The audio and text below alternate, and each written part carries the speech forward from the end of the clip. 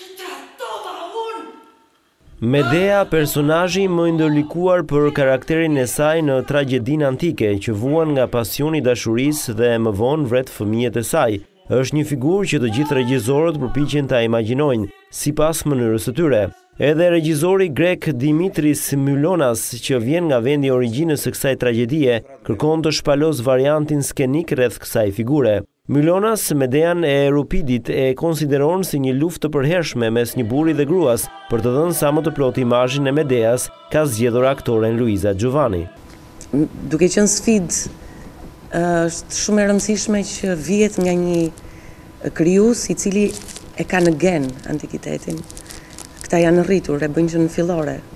dhe i dinë ku si nga dhe ku shkojnë personazhet dhe kjo ishte shumë e rëndësishme për mua që të kisha këtë mbështetje përballë kësaj sfide të madhe të jashtëzakonshme ky personazh jam përpjekur të shfrytëzoj gjithçka nga bagazhet e mia përjetimet e mia profesionale por edhe jetike Dramës së njohur greke i bashkohet kasti i aktorëve më të mirë shqiptarë si Alfred Trebicka, Viktor Zhusti, Roza Anagnosti, Ahmet Pasha e të tjerë. Roza Anagnosti që mban mbi supet e saj një karrierë të pasur në filma dhe teatër dhe sërish e quan një sfidë të re rolin e nënës në këtë vepër. Si thush është një sfidë, është një sfidë sepse unë para dymbëdhjetë vjeç në një trajtim tjetër unë e kam interpretu dhe vjen me një alarm të madh dhe Më pëlqen kjo gjë që ajo bën thirrje të parandalojë si thush dhe shumë gjëra dhe sot ne duhet domethënë ka bie në kohë që disa gjëra mund t'i parandalojmë dhe nuk i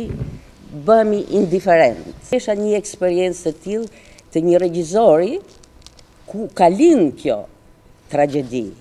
Shfaqja do të shoqërohet me këngën e kompozitorit grek Pavlos Katsivelis dhe me pjesë koreografike të Gjergj Prevazit. Medea do të ngjitet në Teatrin Eksperimental Kujtim Spahivogli me tre shkurt dhe deri në tetëmbëdhjetë shkurt do të shfaqet dymbëdhjetë herë.